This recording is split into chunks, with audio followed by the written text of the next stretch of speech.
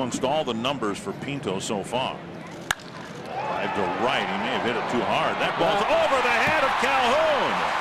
And Pinto will go to second with what should be another double. That ball absolutely streaked over the head of Calhoun. Well, remember earlier we were talking about the height of Calhoun. Maybe he thought he was a little bit taller because this ball was hit on a line drive. You could have hung your clothes on this line drive. Look at this right here. Another good swing by Pinto. Kicks that ball the other way. Saw where that ball hit the bat, right on the barrel. Calhoun thought he could leap and get it, but he could not third double of the ball game for Pinto. Dozier